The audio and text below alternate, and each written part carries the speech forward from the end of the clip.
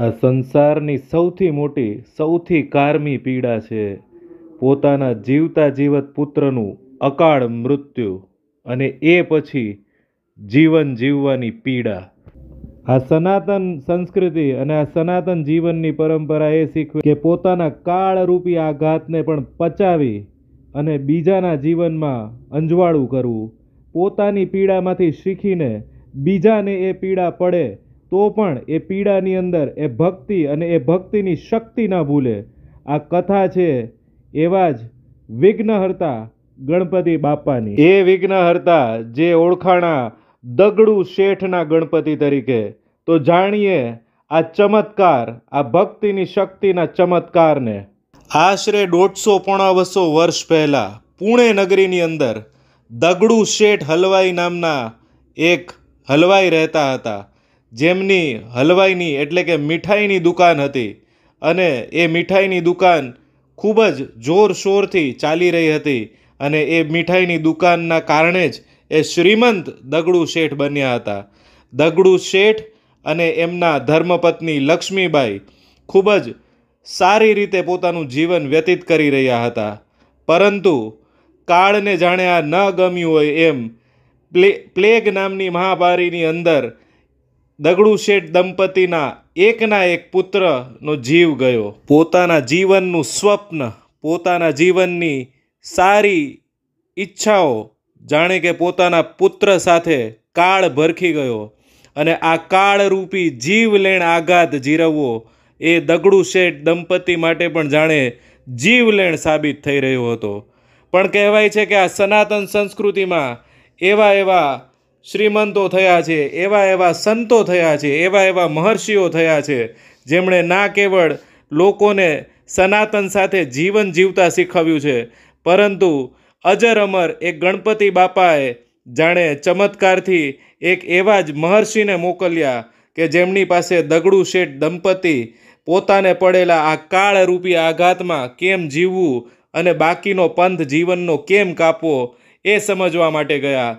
અને કહેવાય છે કે જાણે સ્વયં વિઘ્નહર્તા ગણપતિ બાપા એ મહર્ષિ સંતના અવતારમાં આવ્યા હોય અથવા તો એ મહર્ષિ સંતના માધ્યમથી એવું કહેવડાવતા હોય કે તમે જે કાળરૂપી આઘાતમાં નિસંતાન હોવાનું દુઃખ ભોગવી રહ્યા છો, તમારા એકના એક ચિરંજીવી પુત્રને જે કાળ ભરખી ગયો છે, એવું હજારો દંપતીઓ જે કે પોતાના દીકરા દીકરીને ગુમાવે છે અથવા તો જેમના જીવનમાં દીકરા કે દીકરીનું કોઈ આવવાનું એંધાણ જ નથી રહેતું, એવા નિસંતાન દંપતીઓની શ્રદ્ધા કાજે, એમની આ ભક્તિની શક્તિ કાજે, એમની ગણપતિ ભગવાનમાં અને આ સનાતનમાં આસ્થા કાજે, તમે એક એવા ગણપતિ મંદિરનું નિર્માણ કરો, જે આવા હજારો નિસંતાન દંપતી માટે કે જેઓને જીવનમાં કોઈ પણ પ્રકારની સંતાનોની આદિ વ્યાધિ ઉપાધિઓ આવતી હોય,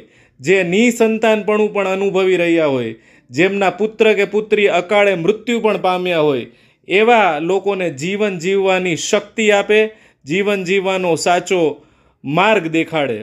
તો આવા જ આદર્શો સાથે, આવા જ આશીર્વાદ સાથે કહેવાય છે કે દગડુ શેઠ દંપતીએ દગડુ શેઠ હલવાઈએ પુણે શહેરની અંદર એક ભવ્ય અતિ ભવ્ય ગણપતિ બાપાના મંદિરનું ત્યાં નિર્માણ કરાવ્યું અને એમાં એક ચામત્કારિક ગણપતિ બાપાની મૂર્તિ પ્રસ્થાપિત કરી, એની પ્રાણ પ્રતિષ્ઠા કરી. બોલો, દગડુ શેઠ ગણપતિ બાપાની જય. વિઘ્નહર્તાએ જે દગડુ શેઠને બીજાના વિઘ્નો હરવા માટે દગડુ શેઠ ગણપતિ મંદિર બનાવવાની પ્રેરણા આપી, તો વિઘ્નહર્તા એવા દગડુ શેઠ દંપતીને કેમ આ આઘાતમાં જીવાડે.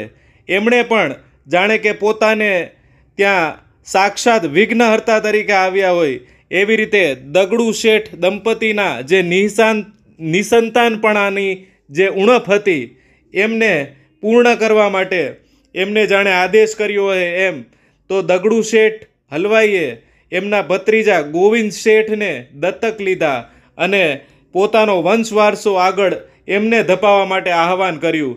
અને કહેવાય છે, બાપ કરતાં બેટા સવાયા. એવા જ થયા ગોવિંદ શેઠ હલવાઈ, કે જેમણે પોતાના પિતાના આદર્શો ઉપર ચાલીને ના કેવલ આ મંદિરનો ફરી પાછો જીર્ણોદ્ધાર કરાવ્યો, એક નવી ચમત્કારિક મૂર્તિ પણ ત્યાં વિરાજમાન કરી. અને કહેવાય છે કે પોતાની અતૂટ શ્રદ્ધા અને એ સમયની જરૂરિયાત પ્રમાણે કે વ્યાયામ અને શારીરિક તંદુરસ્તા માટે અખાડાઓનું નિર્માણ કરાવ્યું અને ત્યાં એક જગોબા અખાડાની અંદર પણ ગણપતિ બાપાની ત્યાં મૂર્તિ વિરાજમાન કરાવી. પ્રથમ મૂર્તિ આજે પણ પુણેમાં અકરા મારુતિ ચોકમાં વિરાજમાન છે. એવી જ રીતે ગોવિંદ શેઠ હલવાઈ એક જાત જાતની મંદિર માટે સેવા કર્યા બાદ કહેવાય છે કે એમની ત્રીજી પેઢી, એટલે કે દગડુ શેઠ હલવાઈની ત્રીજી પેઢી, દત્તાત્રેય ગોવિંદ શેઠ હલવાઈ. એમણે પણ પોતાના દાદા અને પિતાના આદર્શો ઉપર ચાલીને મંદિરના રખરખાવ અને પુનઃનિર્માણમાં કાંઈ બાકી ન રાખ્યું. એમને પણ કહેવાય છે કે હાલની જે દગડુ શેઠ ગણપતિની મૂર્તિ છે, ગણપતિ બાપાની, એ ભવ્ય અતિ ભવ્ય મૂર્તિ જે હાલ બી આપણે દર્શન કરીને એનો આશીર્વાદ દત્તાત્રેય ગોવિંદ શેઠ હલવાઈએ બનાવી છે. અને ત્યાં પુણે શહેરમાં આજે પણ લક્ષ્મી રોડ જે દગડુ શેઠના ધર્મપત્નીના નામે છે અને ગોવિંદ શેઠ હલવાઈ ચોક એ પણ ખૂબ જ પ્રખ્યાત છે. તો બોલો, દગડુ શેઠ ગણપતિ બાપાની જય, વિઘ્નહર્તા ગણપતિ બાપાની જય. કહેવાય છે અનેક ચમત્કારો થયા છે. જે બી નિસંતાન દંપતીઓ દગડુ શેઠ ગણપતિ બાપાની માનતા માની ત્યાં દર્શન કરવા ગયા છે, તે મહત્તમ ખાલી હાથે ક્યારેય પાછા નથી ફર્યા. જે બી લોકો આદિ વ્યાધિ ઉપાધિ અને અશાંતિ અને જીવનના કંકાશ અને કલેથી પીડાતા હોય છે. એ ફક્ત દગડુ શેઠ ગણપતિ બાપાની માનતા, મનોકામના અને એમના દર્શનથી શાંતિ, સુખ અને સમૃદ્ધિ પ્રાપ્ત કરે છે.